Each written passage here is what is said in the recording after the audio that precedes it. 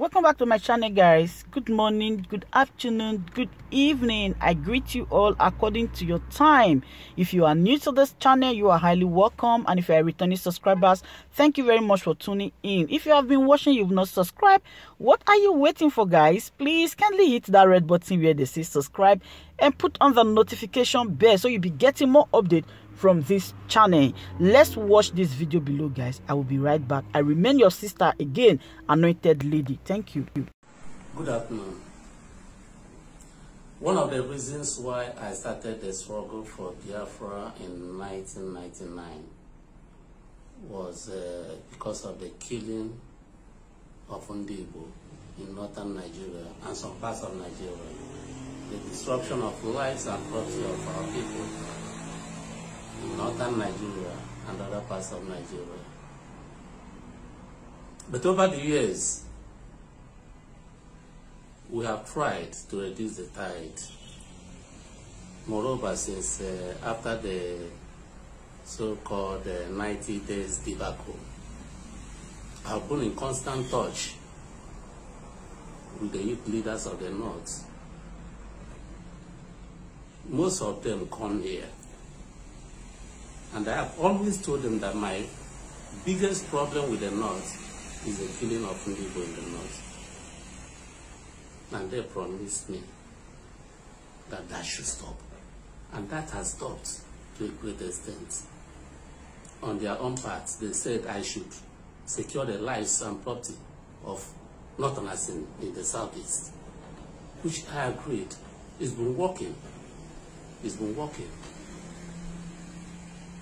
There may be some infractions. Every community, every society has its own level of crimes. There is no society that is crime free. There is no society that is crime free. There could be some infractions. Uh, or one or two Igbos could be killed in the farm. One or two of our sisters could be raped. Very unfortunate.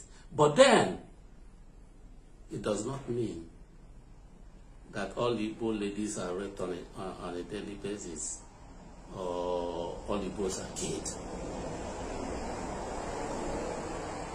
Even during the kidnapping saga that involved one of our own, Evans. Evans was doing kidnapping in Lagos, but Evans is an Igbo man. Does it mean that uh, all Igbos in Lagos are kidnappers? No. Even in the north, we cannot say today that all Igbos in the north are holy. Some could be criminals. But it doesn't mean that all Igbos are in the north are criminals. If you look in Nigeria today, the southeast is the safest zone among the six zones in Nigeria. The southeast is the safest zone, is the most peaceful zone in Nigeria. Even if they are having Amotekun in Lagos, in the west, and uh, Hisba in the north, we don't need those things in the southeast. We don't need them. I'm being frank. If we really needed them in the southeast, we would have had them. We would have had them. So all this playing to the gallery doesn't make sense to me. It's a caricature to our people. It's, it's a laughing matter. It's laughable. You gather a number of youths in the bush dancing with a stick. Doesn't make sense. All these things have regulations. The Hisba in the north has the backing of the law. The Amotekun in the west has the backing of the law. They work with the police. They are regulated. If they arrest people, they hand over to the police. But if you gather people in the southeast without the backing of the law, anything you do is a nullity. If you die in the process, your, your death is of no consequence. Our people should understand. Anything you do without the force of the law backing you is a nullity. I'm talking as a lawyer, a lawyer of over 30 years standing. Our people should learn. Our people should learn. The Southeast, if there is any threat, insecurity in, in the Southeast, I'm one of those to know. If anybody should talk about security in the Southeast today, Wazirike should be one of them. Because no person in the Southeast today can come out to say that Uwazuruike should take the back seat when the issue of, of security arises. Governors could talk of their own states, but I can talk of the entire Southeast because I have my members in every family. I have my security men in every family in the Southeast. I don't need to post on that. Sorry if I'm so immodest on this, but I know what I'm talking about. Our people are crossing the red lines. I know what I mean. By assembling the young guys in the bush, for whatever reason, sends a wrong signal to the north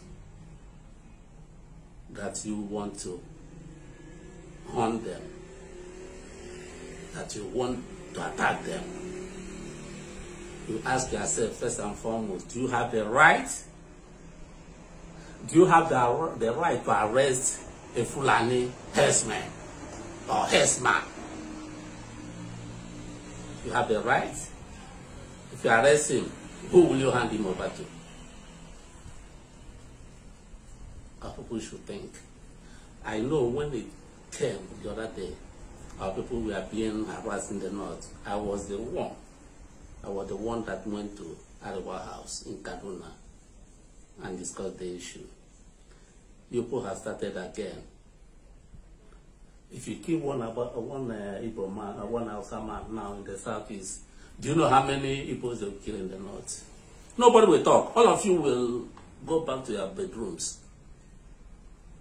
Nobody will talk. Nobody will come out. But now you are clapping hands, truncating. You must know the consequences of what you do.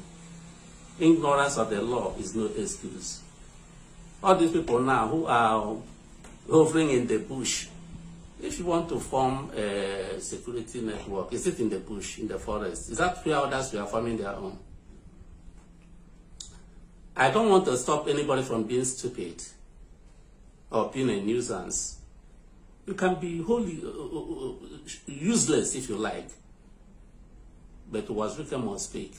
Some of my friends say, ah, ignore them, they are useless people, they are senseless. I will not ignore anything because I know the consequences of this as a lawyer and as a stakeholder, not only in the Southeast, but in Nigeria. Uh, an Igbo man may not regard Wazirika as a stakeholder in Nigeria, but an Hausa man knows that I'm a stakeholder. A Yoruba man knows I'm a stakeholder. Because if it starts, we know those who will come out to face it. Nnamdi Kanu should be warned. He enjoys all these things. It was this month, December, that he says he's going to bring Biafra. That Biafra will come December 2020. Now, this is December 2020, has brought another Ojoro to, to, to, to cover up his deficiency and in in a, he doesn't have the capacity. Don't have the capacity. We are here. This is my residence. I'm talking here. You run away. Somebody who cannot withstand the heat. I think uh, South is a security network and you run away. You come here, stay with us and, uh, and face it. Well, I don't want to talk too much, but I want to warn our people. Look at what happened in uh, the other day. So many people were killed and massacred. Nobody talked about it. The international community didn't bother themselves because they felt that those who were killed were terrorists because they were branded terrorists. But look at what happened at the toll gate in Lagos. How many people were killed? Few people. But the international community has come down to raise an inquest to find out. Ndị Igbo should know themselves. These boys now who are in the bush, if the military men surround them and kill all of them, they, they die of, for nothing. It's of no consequence because they become as terrorists. Because if you are doing a lawful thing, would you be hiding in the forest to do it? A word is enough for the wise. Thank you.